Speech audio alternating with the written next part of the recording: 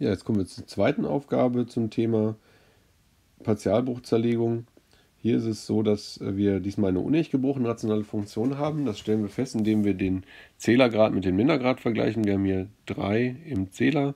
Im Nenner haben wir nach x mal x plus 2 mal x minus 3 auch Zählergrad 3. Das heißt, 3 Drittel ist ein unechter Bruch und auch mit auch einer unecht gebrochene rationale Funktion.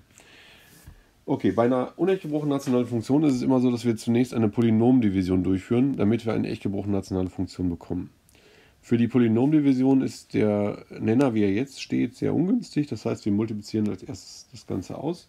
Also schreiben wir erstmal ähm, hier die, die Funktion auf. Wir haben also x hoch 3 minus x plus 3 durch x mal x plus 2 mal x minus 3. Das ist unser Bruch. Und das, ähm, wie gesagt, da multiplizieren wir den Nenner aus. Dann steht da x hoch 3 minus x Quadrat minus 6x. Ja, also x plus 2 mal x minus 3 und dann mal x gerechnet, dann kriegen wir x hoch 3 minus x Quadrat minus 6x. Okay, damit machen wir jetzt eine Polynomdivision.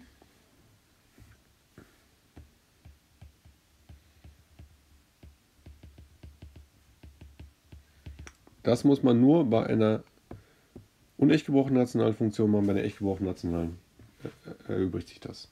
Also, was machen wir? x hoch 3 minus x Quadrat plus 3 durch x hoch 3 minus x Quadrat minus 6x. Okay, gucken wir uns das Ganze an. x hoch 3 durch x hoch 3 ist 1. Dann multiplizieren wir zurück. Also einmal x hoch 3, x hoch 3 minus x minus 6x, Klammer drum, minus davor. Und dann summieren wir das auf. x hoch 3 minus x hoch 3 fällt weg. Minus x plus x fällt auch weg. Und dann haben wir noch 3 plus 6x, also der Rest ist 6x plus 3. Und damit haben wir 1 plus 6x plus 3 durch x hoch 3 minus x Quadrat minus 6x. Okay, dabei ist das hintere hier, dieser Teil, das ist meine echt gebrochene rationale Funktion, die wir in Partialbrüche zerlegen. Ja, der vordere Teil, der hier, das ist unser ganz, rationaler Anteil der Funktion. Den zerlegen wir nicht in Partialbrüche, ja, ist ja nur eine 1. Ähm, den spalten wir aber immer vorher ab bei einer unecht gebrochenen nationalen Funktion. Was am wichtig ist, am Ende dürfen wir nicht vergessen, dass das noch mit integriert wird. Ne? Das gehört natürlich zur Ausgangsfunktion noch dazu.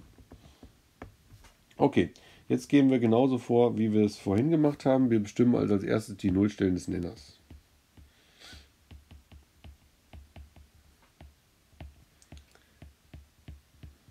Dafür schauen wir uns natürlich nicht die ausmultiplizierte Form an, sondern nehmen die Form x mal x plus 2 mal x minus 3. Und da kriegen wir raus, okay, x1 ist 0, x2 minus 2 und x3 gleich 3. Ja, also das sind die drei Nullstellen des Nenners. Und wie ich gerade gesagt habe, Schritt 2 und 3 machen wir jetzt in einem. Ja.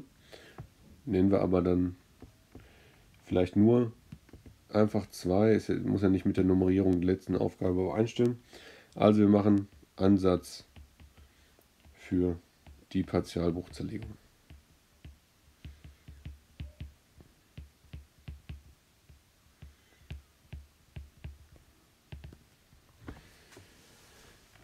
Okay, also der Bruch 6x plus 3 durch den Nenner. Ich nehme jetzt wieder den anderen Nenner, also den x mal x plus 2 mal x minus 3, also den Nenner in Produktform. Der ergibt sich aus diesen einzelnen Partialbrüchen für die einfachen Nullstellen. Wir haben jetzt nur einfache Nullstellen, das heißt, für x gleich 0 steht da a durch x minus 0.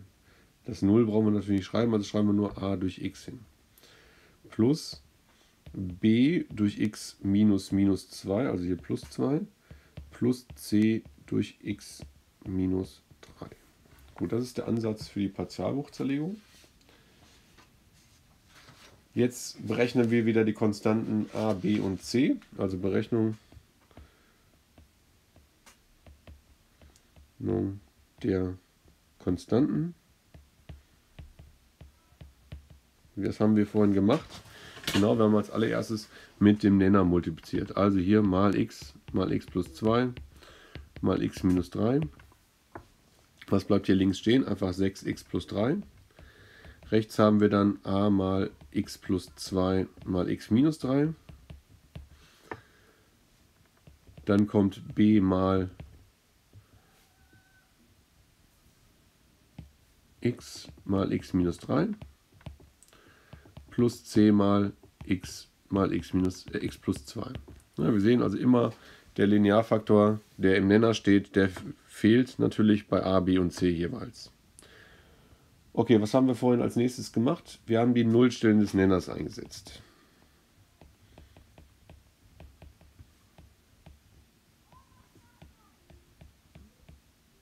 Okay, setzen wir also ein, x gleich 0. Dann haben wir vorne stehen 6 mal 0 plus 3, also 3, gleich a mal 2 mal minus 3, also minus 6a. Dann setzen wir b mal 0 mal irgendwas ist 0.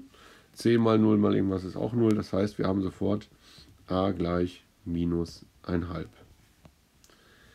Das gleiche machen wir jetzt für x gleich minus 2. 6 mal minus 2 ist minus 12, plus 3 sind wir bei minus 9 minus 5a.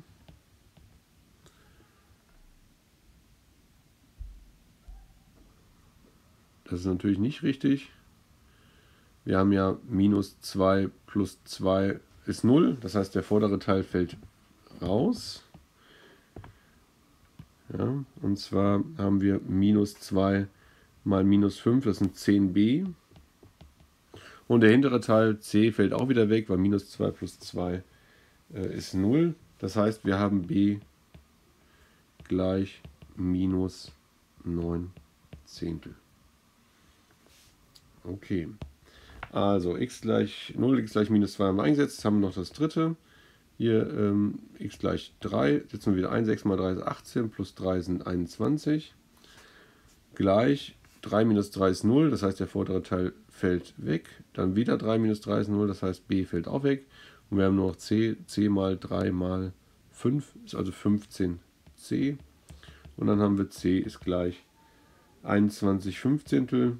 Und das kürzen wir, ist gleich 7 Fünftel. Ne? Mit 3 gekürzt. Okay, dann kommen wir zur Partialbruchzerlegung. Das ist der Schritte, fünfte Schritt.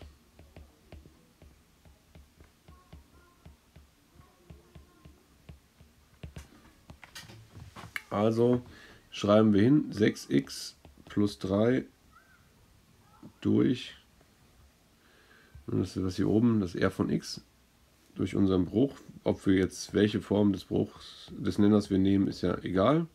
Ich nehme jetzt mal die. Ist gleich a, also minus 1,5 durch x plus b, also minus 9 Zehntel durch x plus 2 plus c 7 Fünftel durch x minus 3. Das ist die Partialbruchzerlegung. Wie gesagt, das kann ich machen, unabhängig davon, ob ich integriere oder nicht, kann ich immer solche Partialbruchzerlegungen machen. Jetzt wollen wir die zum Abschluss die Partialbrüche noch integrieren, also 6 Integration. Integrieren wollen wir aber die gesamte Funktion, also nicht nur den die echt gebrauchten rationalen Anteil der Funktion, sondern die komplette Funktion schreibe es einmal hin. Das waren x hoch 3 minus x plus 3 durch x mal x plus 2 mal x minus 3 dx. Ist also gleich Integral von, jetzt nochmal das, was ich am Anfang gesagt habe, das, was wir in Orange markiert haben, das müssen wir jetzt natürlich mit reinnehmen. Ja? Also Integral von 1 dx. Ich umkreise das hier auch nochmal orange, damit man die Zuordnung zu dem oberen hat.